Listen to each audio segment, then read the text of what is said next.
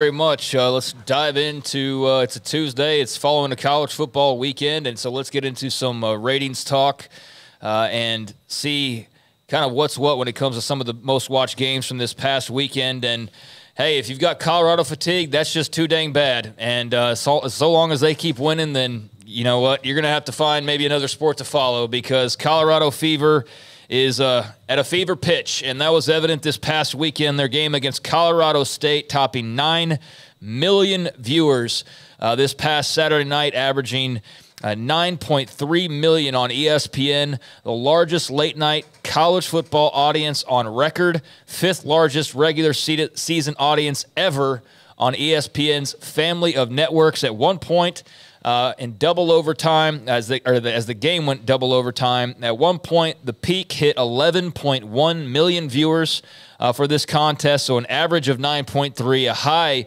of 11.1, and that 11.1 came between Central Time 10 and 10:15 p.m. because obviously there was a late night game, so you had 11 million plus people at 10:15 Central Time or that window 10 to 10:15 uh, watching that Colorado Colorado State game largest college football uh, audience of the entire year through the first 3 weeks. I say entire through the first 3 weeks. And uh, it tops what was the previous high FSU LSU uh, the Labor Day Sunday night main event of the opening game, weekend. yeah. What? The standalone game in prime time. Yes, the standalone Labor Day weekend contest that had 9.17 million people, uh, 2 million more for Deion uh, and the Buffaloes versus Colorado State. So uh, the ratings are just getting bigger and stronger. And, you know, as they keep winning, I'd imagine that would continue to be the case. But they now have three of the five most watched games this season. They hit 8.73 million against Nebraska, 7.26 million versus TCU, and now this monster number of nine plus million. So, I mean, you know, um, you might not like it, but you better learn to love it because it's not going anywhere unless you know some massive losing streak were to occur. But right now, the Buffs are must see TV. I uh, I I told you the story Monday that I was watching it, big huge TV that I have in the bedroom, and I I kind of fell asleep about mid third quarter. Woke up just in time for all the craziness. I actually saw people who are saying that the numbers were a little bit inflated because well, a lot of people were watching the game and they fell asleep but left the TV on. Stop. Stop looking for. Re- they had an incredible audience, unbelievable okay. numbers so in a that, game that started at nine o'clock Central Time. Okay, so that means they turned it on in the first place to fall asleep yes. to it. Okay, that's what matters. It doesn't look when the Nielsen like the Nielsen ratings that come in, they don't send you a quiz that also says, "Hey, with uh, 435 in the on the clock in the third quarter. Uh, name three jersey numbers that were out in the field. They don't do that. It's just that it's on. So again, they turned it on in the first place, and that's where it was. So the negativity can can go away on that one. That's impressive. It's, I do. I find it funny. George Kliavkoff was almost right on his Deion take in that Deion was going to help television, yes, he's going to help the television ratings, but you can't sign a five year contract based on a coach who you don't know who he's where he's going to be, and that's any coach. Like I, you know. I don't. I don't Just know. another reason why they should have found a way. Look, the Pac-12. Kirk, Kirk Ferentz and Mike Gundy have been at their places for as long as they want. But if they quit, you know, year one into a TV contract, it doesn't help that TV contract long term. You can't base on that. But yes, it does. It is very strange that he is affecting it that much. All right, so uh, I mean that's for if the folks are. I think probably most people are joking about leaving the TV on. If they're not, though, they're just world class haters. Which you know, that's uh, I guess you can take that. Some people might take that as a compliment, but um, yeah, I mean at this point, you're just you're just uh, I guess looking for a reason to, to try and, and knock what's going on. But uh, like them or, or not, uh, they are must see TV yeah. Uh, every single weekend of college football so far uh, to this point, and that's only going to grow uh, with even bigger matchups heading their way now in conference play. But that was obviously a, a, massive number, and as I mentioned, it was the fifth highest audience ever on ESPN for a college football game, the top ever just for a trip down memory lane, Auburn, Alabama crossed 13.5 million viewers. That was the most watched college football game ever on ESPN back in 2014. Um, you also had Ohio State and USC in 09 uh, get 10.5 plus million. Ohio State Va Tech in 15 got 10.5 plus million. Boise State, Virginia Tech in 2010 got 9.89 million. And then you had this game right here, 2023. So even the next closest was eight years ago to the largest audience that uh, they've had. So yeah, just massive, massive numbers for the Colorado Buffaloes, and um, yeah, there is something to Deion being a ratings draw. So that was clearly the top game of the week. But I always just just throw uh, you know a few more games out there. The second most watched game of the weekend was South Carolina and Georgia. Uh, that was a uh, let's see here 5.4 million viewers for South Carolina at Georgia. Also at Tennessee, Florida reeled in 5.3 million viewers. That was good enough for the number three spot. Alabama, South Florida, which I'm sure there was a few people that jumped onto that game that weren't necessarily watching,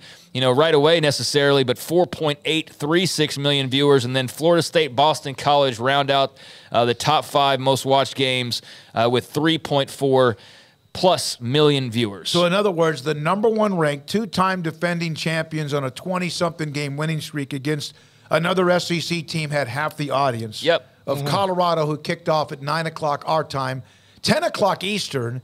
Uh, that's impressive. How powerful are they? Their game coming up Saturday against Oregon, or no, it's the USC game, will be another one of those 10 a.m. Mountain Time kicks because everybody wants them on their network. At 9 a.m. Pacific. Yeah, yeah that's wild. Yeah. That is wild, but uh, no, it's Colorado, Oregon coming up this weekend, and then USC is the weekend after. But yeah, they've basically become the official mascot for Big Noon Kickoff at this point. Um, every single weekend, uh, they've been a fixture. Um, and I imagine that's all going to continue. So, yeah, I mean, if not for that Colorado Colorado State game, uh, you would have had you know, the two SEC games, South Carolina, Georgia, and Tennessee, Florida, is easily the two most watched with 5 million plus uh, for each of those. But you combine those, and it's just like a million more than the Colorado Colorado State game got. Uh, which is pretty uh, incredible stuff there. Uh, also had a, a, healthy rating for the Backyard Brawl, uh, 2.4 plus million viewers uh, for that one as well. So I just want to throw in that because that was a big deal for uh, West Virginia. And um, yeah, just cool to see how some of these games are, are popping on the charts and what kind of audience is, is being brought in. And just, man, if, imagine if they beat Oregon. Imagine if they beat Southern Cal. Yeah, the defending, yeah, the returning Heisman winner, USC glitz and glamour. Uh, in the top five. Going to continue, yeah. And then and uh, Shedeur Sanders, if they were to beat Oregon, and even if they don't, is a part of that conversation. It will be nuts in Boulder if that happens. If they win in Eugene, I, I just wonder what I mean. Might be nuts anyway. How do you compare? Like just for the Pacific time zone, a 9 a.m. like what the 9 a.m. rating will be for Caleb Williams versus the Sanders crew, hmm. uh, because most of the time I would think 9 a.m. and Saturday is not where you're. They're you're walking. They're they're do, they're walking their uh, dogs, Dobermans or big, huge, uh, whatever. Uh, just you know around the mansion. Half the people, especially the people watching the game, haven't even had their first cup of coffee yet, yeah. and they're going to be tuned in watching this thing. That's going to be crazy to see that Fox, which is in L.A by the way, and running to LA is doubling down so hard on Deion that they took a game which was theirs, and instead of putting it at a primetime slot, took it for the, the noon slot. And they're betting that where most of the fans are for that game, which would be Southern California normally, are going to wake up and watch it. Yeah, the Colorado's yeah, yeah. a national draw, and USC yeah. brings that too with Caleb. Yeah, yeah, and it's uh, it's going to be fascinating to see, you know, how long this Colorado run last? You know, just as far as because there's already all the talk about what's he going to do, how long is he going to be there, and this and that. I don't like this is a debate for another time, but I don't think that like I think he needs to be at a place that's not Alabama or not like a blue blood that's already got this massive like I think he thrives better on a place where there is so much more upside, but that can be a conversation for another day because I think he loses some of like he'd still be Deion at Alabama but Alabama's also Alabama. He's, At Colorado, it's Deion. Like it's all about Deion. He's and, also out to prove something. Because yeah. remember what Dan Lanning said during the offseason realignment about Colorado? Yeah, that might be the thing. But then they left ten days later, so it may look pretty stupid. Uh, but I. I think I agree with you, Craig. And I think part of the reason he, he picked a place like Colorado and why he says USF was really in the mix is he's trying to prove something. Yeah, sure. Because he he didn't want he knew what people would say about him. He wanted to, okay, you know what I want to do? 1 and 11, book it. Yep. Yeah, I'll make you care. So elsewhere, um, did you want to